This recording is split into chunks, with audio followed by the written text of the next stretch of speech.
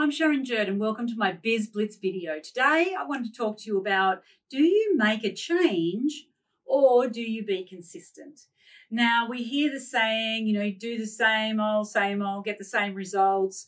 Uh, and then yet we say be consistent and persistent in your business. Don't give up too, too early. So I wanted to talk about this today because a lot of people say to me, I don't know whether to change or just keep at it.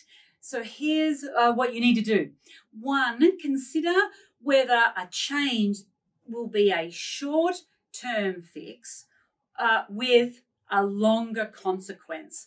So by changing, what would be the short term fix, long term fix, short term consequences, long term consequences, and really take some time to think about it before you just change on a short term fix. Secondly, um, I always say to my coaches in my program, do a three step reset session, which is a part of my uh, program. And I teach at my Grow Your Coaching Biz and I share with my master coaches, um, where that runs you through a very quick session. It only takes a number of minutes. And we uh, ask a lot of questions. Uh, a lot of amazing questions, in fact, in different areas. And that comes out with a definite yes or a definite no. Thirdly, oh, you know, ask yourself some really amazing questions. What would show up if you make the change?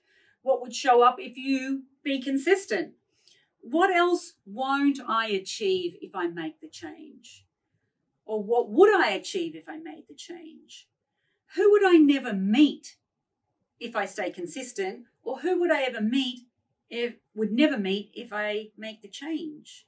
And so we can dig deep into these questions to really go, okay, what's the results or the cost um, of making a change or being consistent? And once you start asking yourself amazing questions, you will have a very clear answer.